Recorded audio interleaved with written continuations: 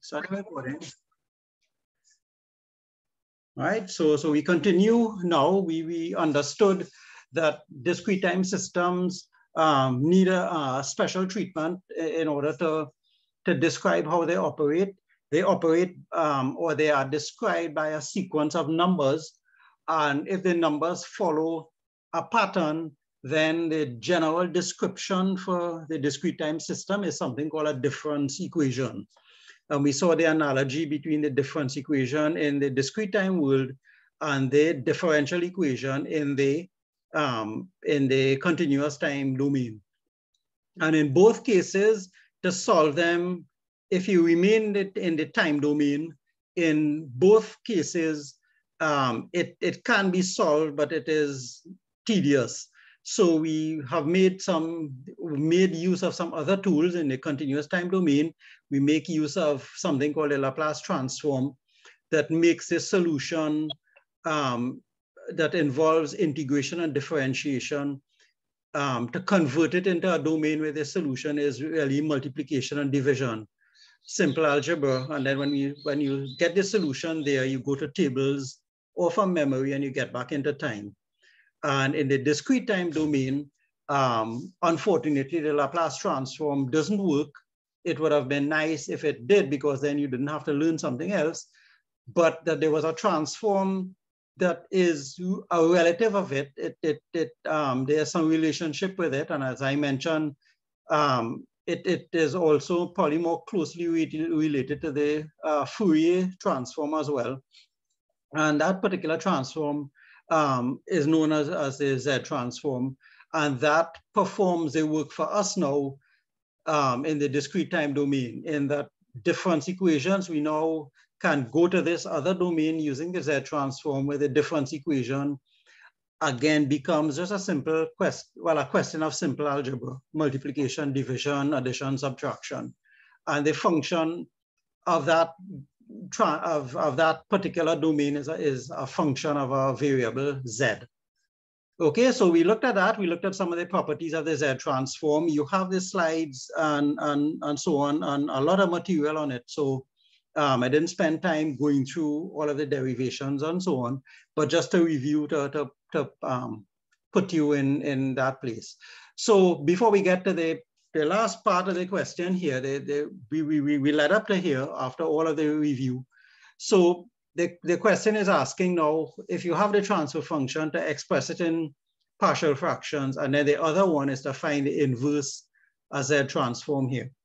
And as I mentioned before, the, the, the partial fraction um, part uh, here, that business about partial fractions is what you have been doing with the Laplace transform and other um, mathematical topics for quite a while now, right? So it isn't anything new. The only little variable here, the only little difference is the fact that in the Z transform, you have negative in um, negative index powers, right? You're accustomed with the Laplace transform dealing with positive indices. The Z transform, you deal with negative indices. And as I said, one way around that is to, to until we got used to it, it's not recommended, but it, it's an easy way around it, is to let another variable, if you let something like a equals z to the power minus one, then you can express the, the entire um, um, equation in, form of, in the form of, of something with a positive index. Do not use um, do not use X, Y, but of course you can't use Z, S especially. Okay, do not use variables like that, right? So, so use variables A, B, those kind of things if you if you need to. All right, so let's um get to the particular, the last, um, before we, we, we, we tackle this, just to finish off, there, there's a transform review, and that was in uh, lecture 28, right? So let me share lecture 28 here. Right, that would have been the very last lecture that we did. Let me go back here. And this lecture now gave a summary of, of, of the um, everything that we had done so far. And again, it will summarize what we did on Monday as well, right? So the continuous time model, you remember the continuous time system takes a continuous signal in, the, the, the, the, the system is continuous and the output is continuous. And for our purposes, remember, for at least at, at, at this level right now, we're dealing with linear time invariant systems, okay? If you do things like advanced controls and so on, you'll start to get into nonlinear, nonlinear, right? And instead of time, time invariant, you'll come across something called stochastic, right? Stochastic system. So you'll, you, if you're going on to postgrad or some graduate work um, here, you will meet these two terms coming in. And Uh, nothing to be afraid about. Stochastic is, is statistics. Nonlinear means that, funnily enough, if the system, nonlinear means that, that the input output relationship, instead of doing something like this, it does something like this, right? Then what you do, typical engineering is that if something is nonlinear, you pick a part that is approximately linear, like here. And then you apply the kind of things that we are learning in this course to a limited range. So you could predict what it's doing, and then you pick another linear part, right? You approximate it linear, and then you do the same thing. So that's the sort of approach that they take in advanced work. All right, but I was just, and of course, the system you implement it. Remember, continuous time system are all the things that you you know about um, these things, remember, they are real world systems. The electronics part, electronic parts of the system will be implemented using passive components and, and, and semiconductors, right? Some of the other things involved here will also be things like motors, pumps, valves, um, um, heat exchangers, those kind of things that, that, that, that you'll meet in industry, boilers, believe it or not, those are all continuous time systems. They don't work with electricity, but they, um, they, they for instance, a boiler will take um, fuel, diesel, and, and heat water to make steam, but the whole process is a continuous time process, and there are models for that. Okay, because they've been using them for a long time.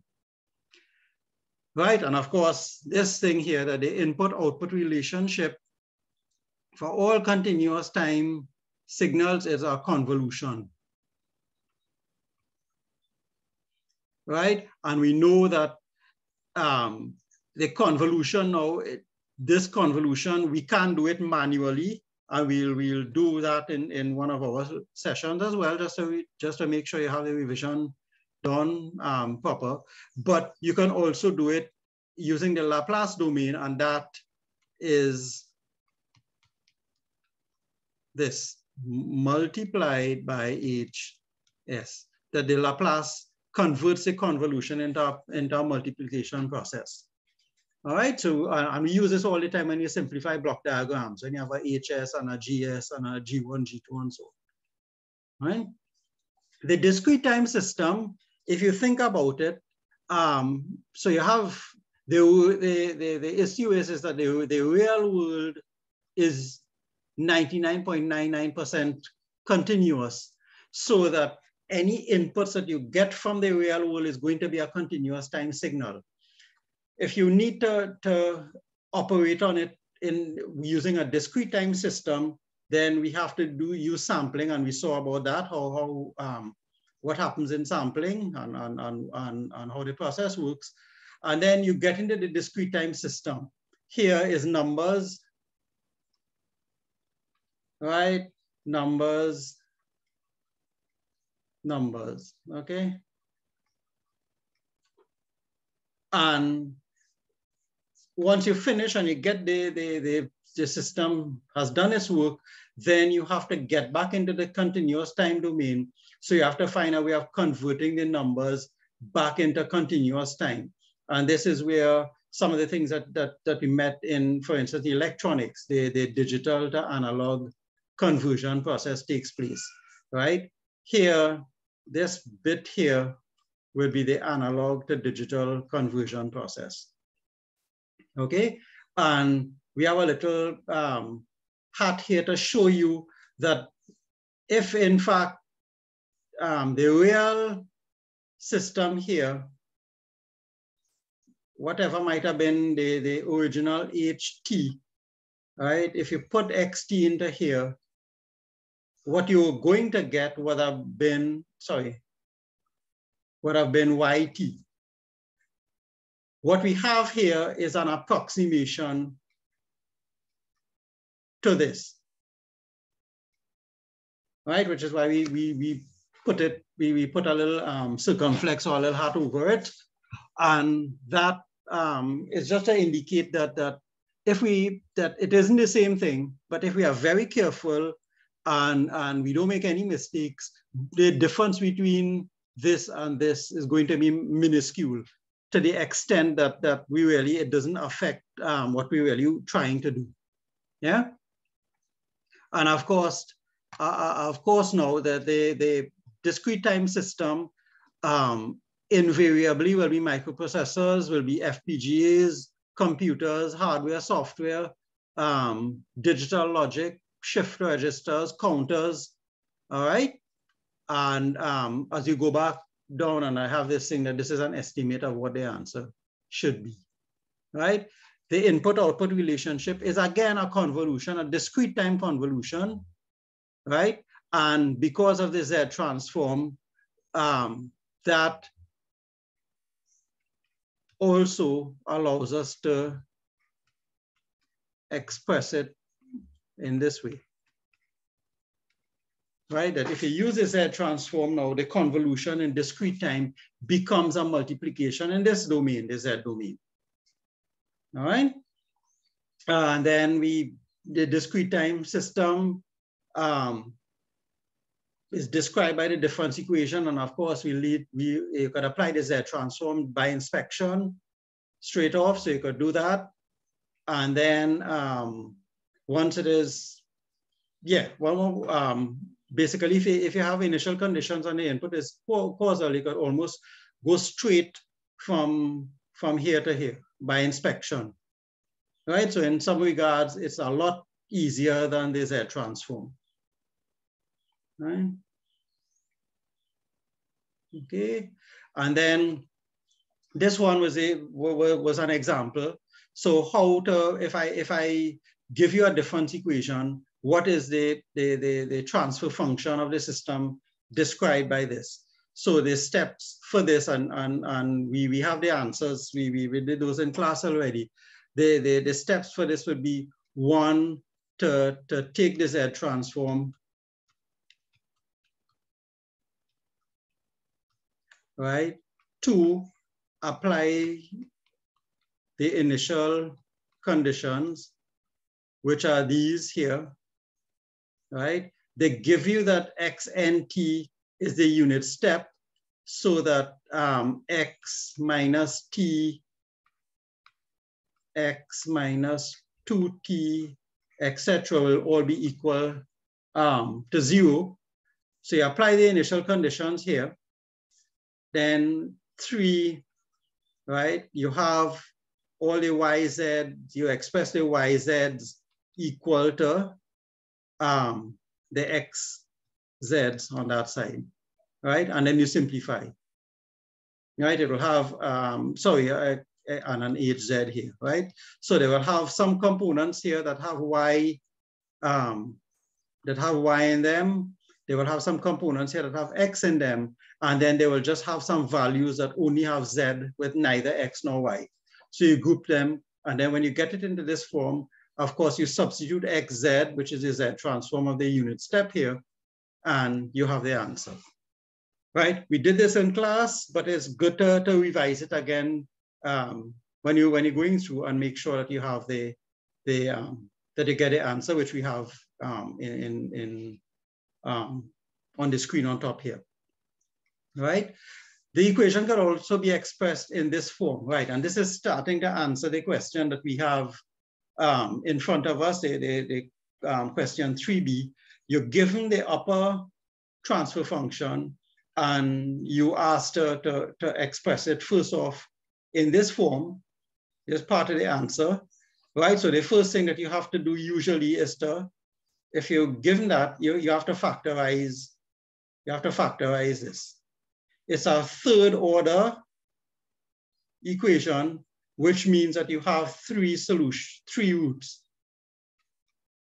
Okay, if I give you this, like the question that I um that that that, that is there, um question uh, 3b, if there are three roots and I don't give you anything else, any more hints, it means, okay, you have to get some of the roots by trial and error. So the first thing you have to do is try z minus one equal to, and as I told you, if, if I give you something like this, z minus one equal is going to have either one, two, or three usually, right? So one of those two things, one of those values there there's six values in all, right, is a root of that equation. So once you do, once you so you try a substitute. So you say let z minus one equal to one for argument's sake, and you you you use the remainder theorem up here. And if the solution is zero, then that was the, the, the root of it, right? So it turns out that, that z minus one equal to one is a root, okay? So in other words, z minus 1 minus 1, right, equal to naught. This is a factor. Okay? And you could also express that z minus 1, you can also express that in this form, 1 minus z minus 1 equal to naught. This is, um, well, I'm just putting equal to naught so you get the, the, the, the, the answer there. Uh, but this is also a factor. So, so this and this are the same expression here okay? Um, it's not, when, when you're trying to find the inverse transforms and you'll get to that, you have to get it in this form because this is how the tables are, um, written. If you want to factorize, it's okay to leave it in, in, um, in this form, okay? Look at the order of, of the equation here as well. Notice here, I'm starting with a constant and I'm going down here with um, increasing negative in powers here, right? Same thing here. So this is this is um, normally the, the sort of standard form that they have the transfer functions in. It doesn't have to be that way. If you look back at question 3b, you'll see that they, the order is a little bit different. All right, we'll get to that in a, in a while. And then notice this if 1 minus 0.2 z minus 1 is a factor, it means that the root it was that equal to naught or z minus 1 would have been equal to 0 over 0.2. 0 over 0.2 is what?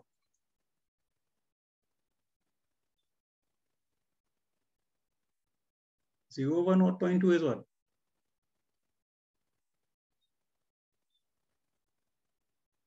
Come on, I know the caffeine hasn't kicked in as yet, but zero is zero. Oh, sorry, one over 0 0.2 is what?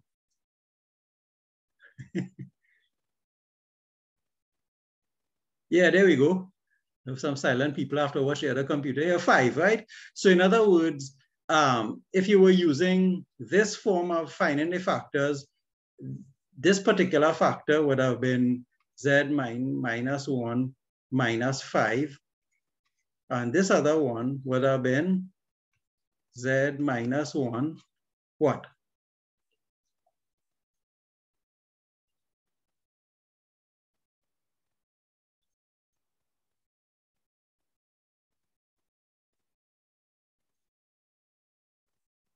By the same argument.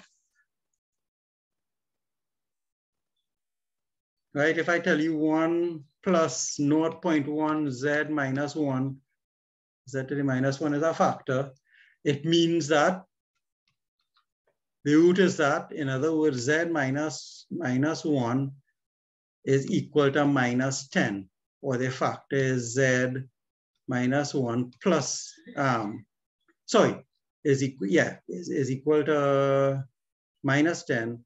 So in other words, z plus 10 is a factor for that one, right? Yeah.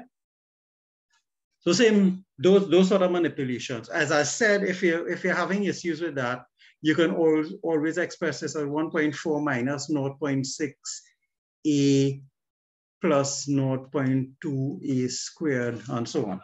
All right, just until um, you get the hang of it, right? But z minus one is the is the sort of unit that you're dealing with there, right? Um, we could, and of course, we could also always rationalize the expression positive in the indices. So you multiply by by the, if for instance, if I wanted to convert, um, let me just get a different uh, color here. If I wanted to convert the upper one by into positive in indices, right? I can multiply this by z cubed over z cubed you look at whatever the highest negative index here, and that will be the, the, the highest um, either here or, or, or um, on, on the numerator. And the opposite, the, the positive version of that would be the, the, the, um, the uh, value that you're going to have to multiply by. Right, so you can convert that in, into positive um, powers of z, right? This is the one um, okay, just now, half a second.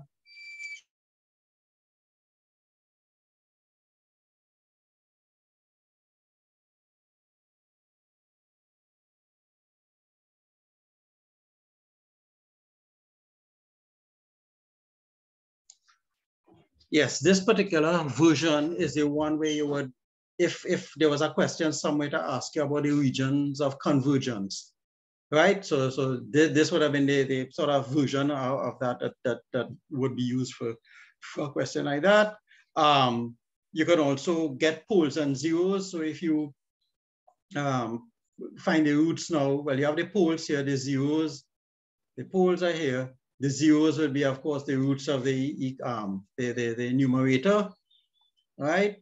Um, so in, in other words, uh, the, the, the idea behind this is that all of these are describing the same system. So the discrete time system, you could describe it by a difference, a difference equation. You could describe it by a transfer function. You could describe it in terms of the poles and zeros, right? They, they, they, this is how it is implemented, right? So this is actually how um, it is implemented in reality. Okay, and when we were doing the, the, the diagrams for it and, and so on, um, we just mentioned it a little bit, but, but uh, if you ever do um, a course like um, discrete signal processing and so on, you'll see how we actually do that. This, this is how you would put it into the, the FPGAs or the, the, the microprocessors and so on, right?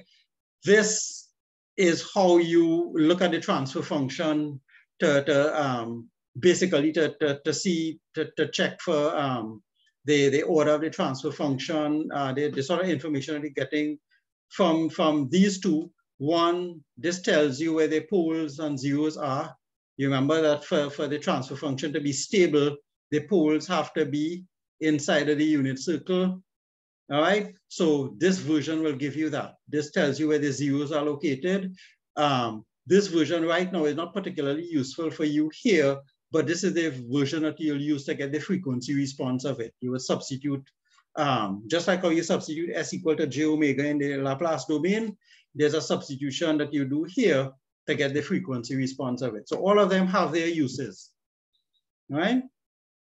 So then the other part now is that, okay, so great, you have a transfer function here. How do I find what the output sequence, in other words, how do I solve a transfer function, which is like what we did with a continuous time domain. If I give you um, h s equals something or y s equals something, right? Remember, we go into this domain because the manipulations are easy. We could see a lot of um, properties and behaviors here, but eventually we have to come back to the real world, right? In other words, take an inverse transform to get back into time. So what is, how do you get the inverse transform of this? And in the case of the Z transform, there are three ways you can do it. One is by long division. So this one now, it gives you um, an answer that basically gives you what the first few terms of the answer looks like.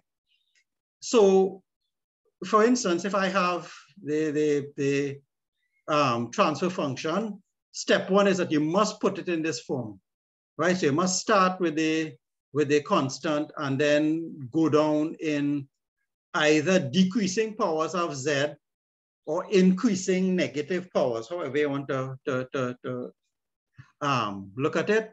In other words, in plain English, this number is supposed to be getting bigger as you're going this way, right? Bigger and more negative in that direction, okay? So make sure you sort it out first. And then you divide the numerator by the denominator. Long division, but you have to have it in, in, in this form, right?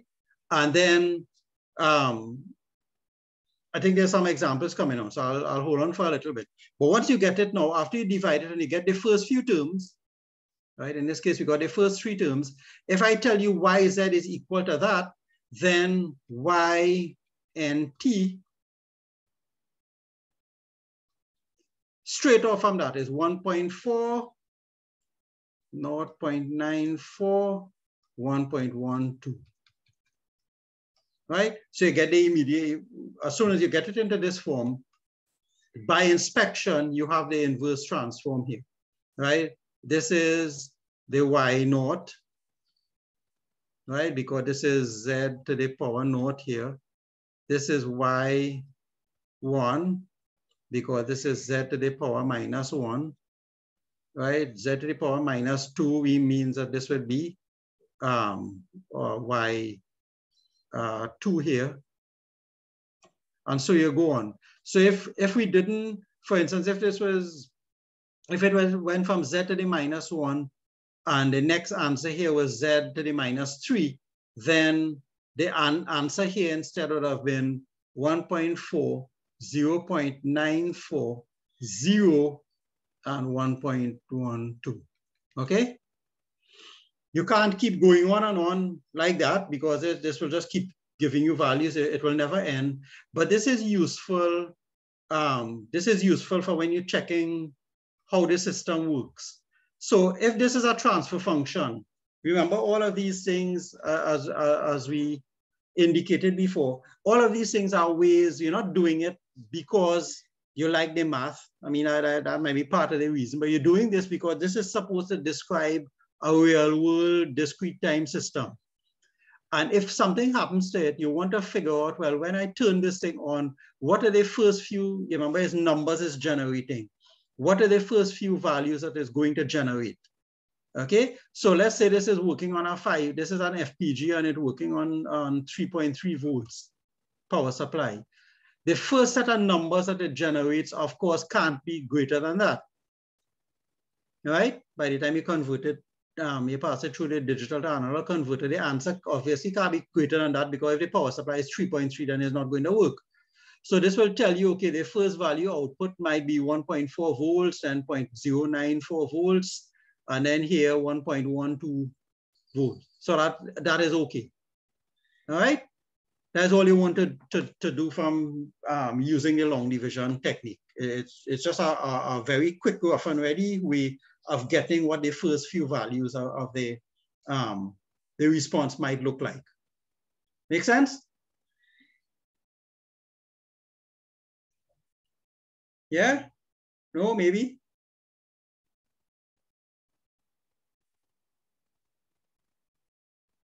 Right? And here it is, there, um, it gives the first um, the, the, the sequence of values which, which led to the transfer function. And just, just out of curiosity, if the sequence does not end, we call it an infinite response. And if the sequence ends or comes to some small value after um, a number of uh, a finite number, then we call it a finite response. All right. Infinite, uh, these depend on how the system, because if it's generating um, a set of numbers and infinite is relative, okay? Um, for computer systems, infinite may be how many numbers it takes to fill up the memory. Uh, a, a, laptop or, or, or, or something or a tablet might have, you know, gigabytes of memory. But if you're thinking about something like a, like a medical device, for instance, a medical device might have a memory that maybe, you, you know, a, a few kilobytes at most. So that an infinite response will be something that generates enough values to, to, to, to fill up a, a few um, hundred bytes or a few kilobytes of memory. So it, it, it, it is all relative to the, the application. But usually an infinite response means that the system will just keep generating numbers. Once you put an input, it's going to keep generating answers coming out, which is not necessarily the best thing. A lot of times what you would prefer is a finite response. So it generates a set of numbers, right? So it generates a set of numbers, um, negative, positive, and then after you know a few of them, it just dies down right? And it stops. So after that, so after some n, right? Some, some um, n which is finite, right? It stops. So at that point, you know that, that you wouldn't run out of memory space and that kind of thing. And these are the ones that you, you try to get so that you can program it into a computer easily. All right, that is part of our, um, another course, but just keep it in mind every time you all sit down with um you use um PICs, you use Raspberry Pis, um, you use Arduinos, you use a bunch of other devices and so on. All of them have limited memory on board. And uh, depending on the sort of application that you have and how you have to program it, you have to be careful if, if what you're doing is going to generate a never-ending set of numbers for the, for, for, for the um, little device to handle all right?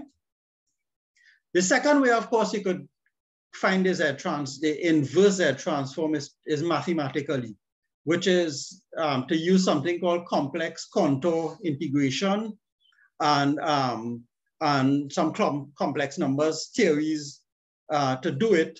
And um, it actually is one of the ways that they, they also uh, find the inverse transform, the inverse Laplace transform. And in fact, if you look at, at, at, at um, if you Google like, like tables of Laplace transforms and Z transforms, you see some extremely complicated uh, um, uh, expressions that they found the inverse transform, inverse transforms for. And those were done using um, integration. All right. Uh, we will avoid that because our approach is to get into a form um, this is nice and it works mathematically and, and, and somebody did it for us, so we have them in table form. So our approach instead is to, to, um, to use the, the, the Laplace transform approach and the other transform techniques approach, which is to get the thing into a form where we could go into a lookup table and get the answer. And that form means taking the transfer function and breaking it up into smaller bits and the smaller bits are what we look up in the table for.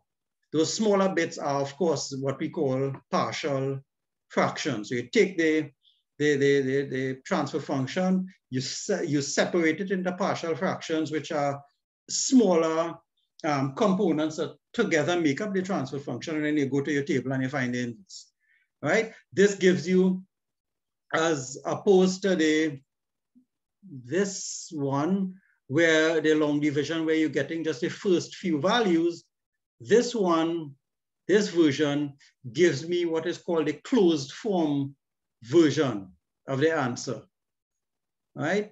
In other words, this is going to give me y and t in terms of um, something where I could subs uh, an answer, which is a, a, a function a function of t.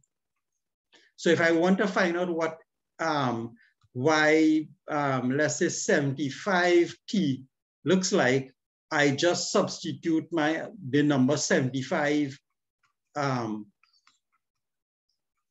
in the answer and I will get that. So this is why you call it a closed form solution. You could you could now use it to, to verify any to, to calculate any answer going forward. right? To do this, of course, the, in, the, the, the transform must be proper, which was the point that I was making um, when, when, when you're doing, let me just go back here. I made that point, um, right. If you, if you look at this and you want to, let me just get rid of some,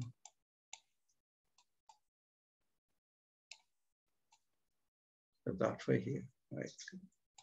If you want to work in positive indices here, and I were to multiply this by um, z cubed over z cubed, right? What I'm going to get in my answer, notice is that the first term here, if I multiply this in positive indices, I'm going to get 1.4 z cubed, and I'm going to have a z cubed here. The next term is going to be minus 0.6 z squared, right, uh, minus 1.1 z squared, um, so on. But notice what happens when you, when you convert it to positive indices here. The order of the numerator and the denominator are the same. And that is a no-no when you're trying to get the partial fraction form the equation must be proper. In other words, the order of the numerator must be less than the, um, the order of the denominator. If they are equal, then you're going to have to divide at least once, okay? To satisfy, um, I mean, so if this is Z, if this is Z, like we had, if this is Z cubed and Z cubed, you're going to have to divide this at least once, so you'll get one plus, um, or some constant plus z squared over the z cubed bit, right? And of course, if it's z, something like z fourth, then you're going to have to divide this at least twice. So you're going to get a, um, a LZ at least plus a K plus something, right? Which is why um, I always, I'm recommending always that you keep it in the negative um, index form, yeah? Some math books tell you to do it in a positive index form, but then you have to do a thing at the end to, um, to, to, to account for, for um, these constants here. I don't like that. And it just makes it um, unnecessarily complicated, right? So be careful if you're using a math book um, uh, for, for extra reading or anything like, like that for the Z transform, that it, they, they invariably use positive indices and they, there are some other steps that have to be done. Okay? All right, so remember that. So once you do it now, um, they, they, to, to get the partial fractions, of course, treat z minus 1 as a variable, right? So this is your a, right? So this is 1 minus a, this is 1 minus 0.2a, and this is 1 plus 0.1a if you not comfortable with a negative in index. So this is going to be simple roots. So you, you get them, it's going to be a A over the first factor, B over the second factor, and a C over the second, the third factor. And you solve for A, B, and C um, like you are accustomed doing, all right? Uh, of course, if you're using little a down here, probably don't use capital A on top right? They wouldn't want something like that. This is why I say it tends to get a little bit messy, but use a variable. If you have to use something, if you're using A, B, and C on top here, then, then maybe use M uh, down here or something of the like, right? And then at the end, remember to convert it back, please. Right, so you express the partial fractions and then you solve for A, B, and C like you are accustomed doing. You either do it by the, the sort of what we call it, the sort of cover up method, or you could get three simultaneous equations and solve for A, B, and C. Whatever is your custom and comfortable doing and that you have been doing, apply to this.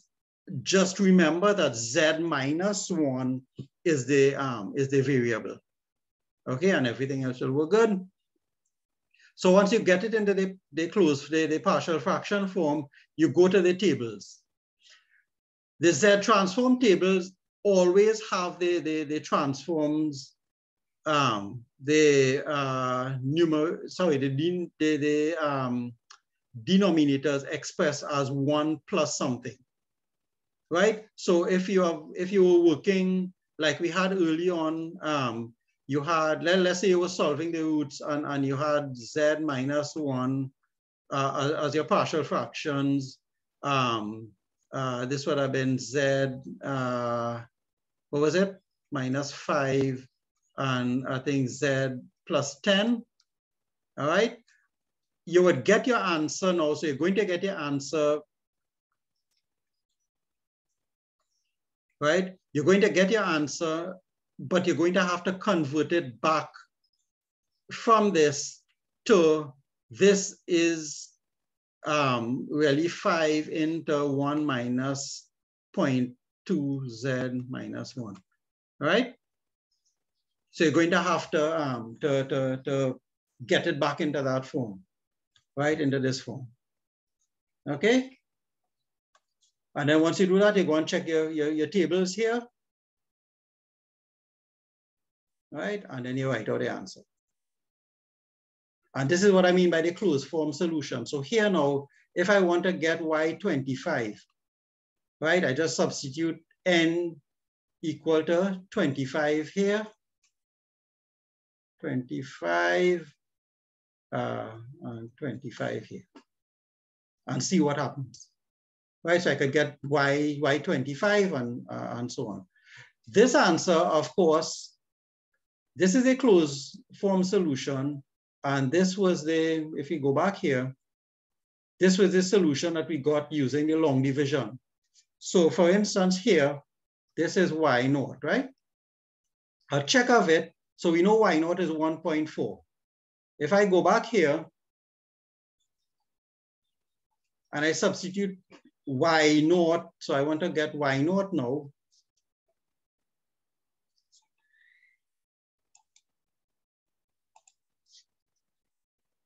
So y naught will be equal to, um, this is one, so this is 1.136 minus, if this is naught, this is 0.567. And if this is naught, it means this to the power naught is one plus 0.83, right? And if you work out that, you're supposed to get, and I forgot what the answer was. What was the answer? We're supposed to get 1.4? 1.4, right? right? So if you add these up, you're supposed to get 1.4 here, right? So this together supposed to give me 1.4, right? You can check it. And if it's not 1.4, do let me know. All right, so that's a closed form solution.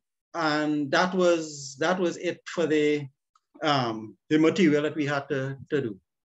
All right, so let's go back to the um, the question paper now. So we now in our position to tackle the paper. Right? So, right, so again, so so here's here here's the, the form. Notice the the form of the um what do you call it of the problem here. Let me just clear, clear away some of that a little bit. Right, so, okay. I think this was saved from last time, so I'll, I'll so it's part of the, part of the, it's not part of the, the slide, so I'll use it later. Right, so if you're given this now, your, um, what shall I say? Your approach for this is now to, as I told you all, okay, so this is Z cubed and I haven't given you any, any other hint. So you're now going to have to try Z minus one equal to plus or minus one, plus or minus two, plus or minus three, right? And see what happens, right? If you look at Z minus one, Z minus one equal to one, just for argument's sake, try that in here. That will give you 1 plus 3 minus 1 minus 3. which is zero. So first off, z minus one minus one is one of the roots. Okay? So the next step is to do what? How do I get the, the, the, the other roots of this?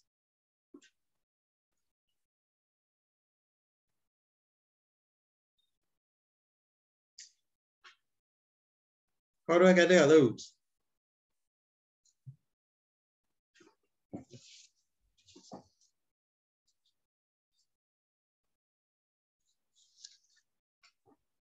I know that this is one of them.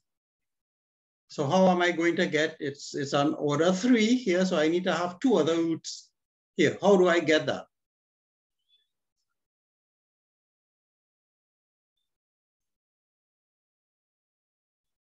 No, not substitute.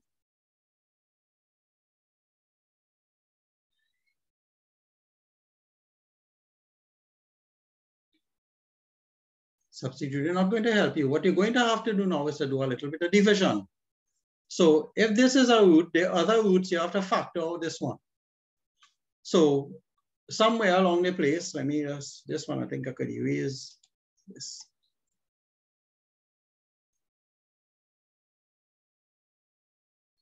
Uh,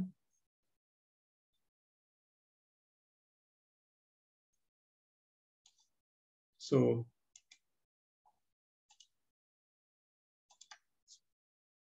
So we have z, z minus 3 plus 3z minus 2 minus z minus 1 minus 3.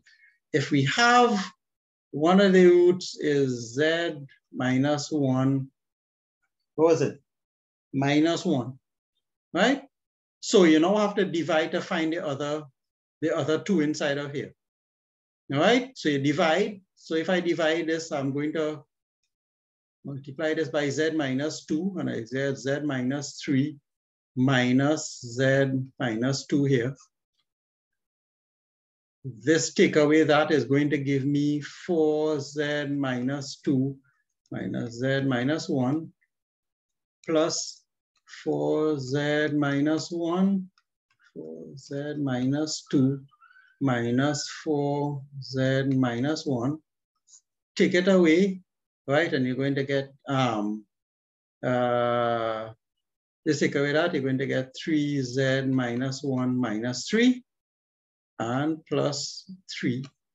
You get 3z minus 1 minus 3, right? So that the, the other factor in this, so this is now z minus 1 minus 1 into z squared plus 4z minus 1 plus 3. And you could recognize by inspection now this bit here is z plus 3, right, into z minus 1 plus 1. So those are the three factors here. Yeah? Mm-hmm.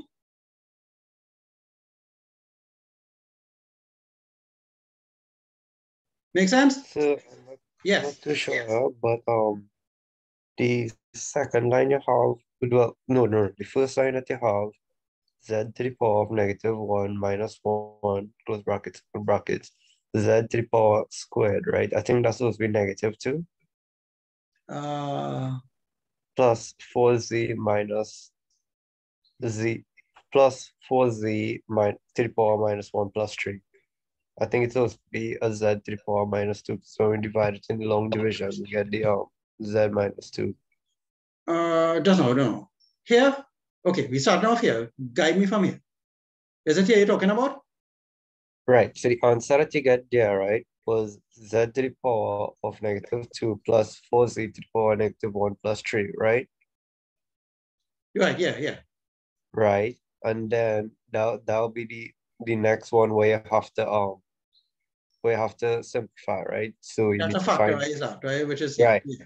right, good, but where have the arrow going to there, you have z to the power of square. Right, right, right. Yeah. Yeah. Yeah. Good, yeah, thanks. Yeah, nice. Right? And then you factorize yeah. it. So what's the next step now? If you have it here, remember the question is asking for partial fractions now. So? So since you have a three a is equals to z to the power of minus one, a is equals to um well that'll be one, negative three, and negative and negative one. Right. So you you the the, the, the partial fraction form, right, is going to be a over z minus 1 minus 1 plus b over z minus 1 plus 3 plus c over z minus 1 plus um, 1, right? And then you yeah. solve for a, b, and c, as you were saying. Yeah. Right? And then once you get that, that, that that's the answer. Right. So, so we have that here. Notice that I didn't I didn't mention anything about the, the standard um, form of this thing, right? If you have to do like in, in, in this particular one here, which is already sorted in the correct form, if this, if I had asked you to find H and T here for me, right? Then what you're going to have to do is to get this actually into a different form. You remember this is, uh, when you get it here, you actually have to express it into the form one plus or minus a z minus one. All of them you're going to have to convert into that form. Or, or you reorder this. You, you reorder this into the descending um, form like this, right? So, so you put this the other way wrong. So this would have been four plus 2z minus 1 plus z minus 3 over minus 3 minus z minus 1 plus 3z minus 2 um, plus z minus 3. Okay? That would give you the, the, the, the, the, form to get the inverse transform. The transfer, the, the partial fraction doesn't matter, right? And if you did it at this form, if, if you did it like this, right, that answer is correct as far as the, the, the, the question paper is concerned if you if you went ahead and you actually before you did the partial fractions, you converted this to the standard form and then found the answers. I am happy with that. You um both versions I'll give you the marks for. Okay. Okay. Um. So what about this, right? What about if you plug in, um, like z the power minus three plus um three z to the power minus two. If you plug in that into the calculator, right, and you get the three you get the three numbers that it's supposed to be, and then you just solve where you have to show the long division to get the marks. Yeah, I would prefer because um, I know some yeah some calculators will solve the roots and so on for you. The issue is that if you make a mistake and you enter the wrong thing, and you just give me the answers for A, B, and C, and um, the answers are incorrect because you made a mistake and you have no working, then all I will be able to do, usually for something like this, is eight marks right? So typically for this, you're getting two for each of these and two for the, the, the, the one way of, way of getting the, the, factorizing and that kind of thing. If you oh, went from, okay. from, from point A way straight to the answer, the answer is wrong, then I don't have any way to give you marks inside. Okay, okay. All right. Yeah, no the calculators are good way to verify your answer after you do it, if you have time. Okay. And I know the calculators here could, could, could do all of these things. And, and I guess if, if I am sure that everybody had the same kind of calculators coming in or in time to come, if I was able to get people to use MATLAB in the exam and that kind of thing, then I could, I could put all kind of things here because I know it, it, you're not doing it by hand. All right. But just um just just the, the more working you have is is it's it's insurance for you that if something went wrong that I have a, a, a place to allocate some marks to, to, to give you a chance. Yeah? Fair enough? Yeah. Okay, so that's it for today. The next, um, on Friday, we will um, do the, the, the piecewise continuous signals, and then we'll talk about the Routh-Hurwitz stability criterion in review. We did it once already, we'll go over it here again all right? And then um, so that will more or less revise the course and then the next um, period going forward will be um, really you doing the questions and, and, and, and me seeing where you got stuck and so on. All right, so any other questions um, right now?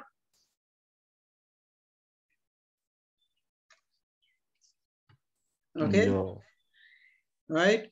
Um, it's a quick review because we've done it before. So, so um, if when you're going over the slides, uh, and then the, the thing about the recordings that we did before, you could always kind of fast forward into a particular area. You don't have to listen to the whole um, one hour or whatever it is, kind kind of thing.